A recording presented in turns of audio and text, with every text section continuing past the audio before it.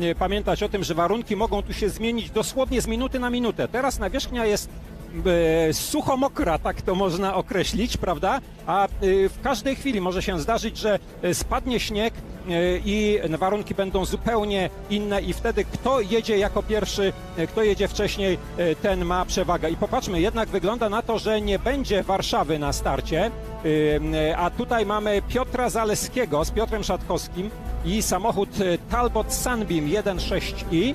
O właśnie, widzimy to. Samochód mm, dość znany mm, na rajdowych trasach i to nawet rajdowych mistrzostw świata na przełomie lat 70. i 80. ubiegłego stulecia, chociaż bardziej znana i dużo szybsza była wersja Talbot Sunbeam Lotus.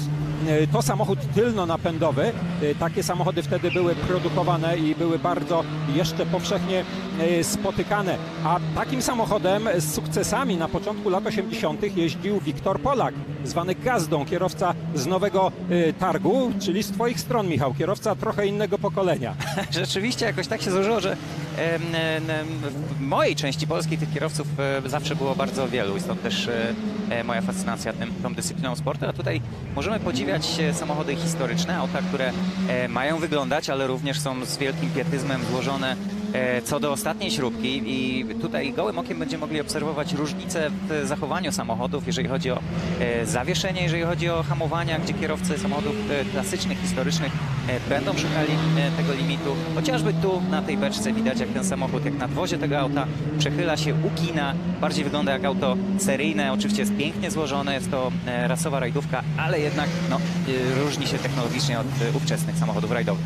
Silnik 1600 cm3, dwa Webery w slangu rajdowym, tak? czyli dwa gaźniki, dwa Webery 45, skrzynia biegów czterobiegowa, bo taką się wtedy e, e, stosowało. E, I tak jak powiedzieliśmy, e, bardziej znany był model Lotus z silnikiem o pojemności 2200 cm. To był ostatni tylno-napędowy mistrz świata w roku 1981, chociaż było już wtedy Audi Quattro. Ładny nawrót na górnej beczce, jednak e, tutaj nie szuka kierowca e, czasu tak bardzo. Widać, że chce się pokazać kibicom, chyba że samochód w ten sposób e, się zachowuje. Nie zapominajmy, że jest jednym z pierwszych samochodów. Mieliśmy kilka samochodów funkcyjnych, ale to jest pierwszy e, zawodnik, który jedzie po tej śliskiej kostce w świat. Widzimy, jak światło odbijają się na kostce brukowej. To świadczy o tym, że jest bardzo ślisko. Zresztą wyjście z tego zakrętu mówi samo za siebie pełnym bokiem, na pełnej kontrze. E, widzimy, że kierowca musi walczyć trochę z kierownicą, żeby ten samochód na początku chciał skręcić, ale potem jak już zaczyna iść bokiem, no to chce to robić w nieskończoność. Piotr Zaleski, bardzo doświadczony kierowca i rajdowy, i wyścigowy, i startował także w wyścigach górskich, i e, w rajdzie Monte Carlo Historique, i Polonezem, e, i e, Renault 5 Turbo, tym tylnonapędowym Renault 5 Turbo, i ostatnio także Porsche 911, a teraz Talbot Sunbeam. Popatrzmy, końcówka odcinka, ładnie czysto przejechana beczka, zielona flaga, to znaczy, że wszystko jest w porządku i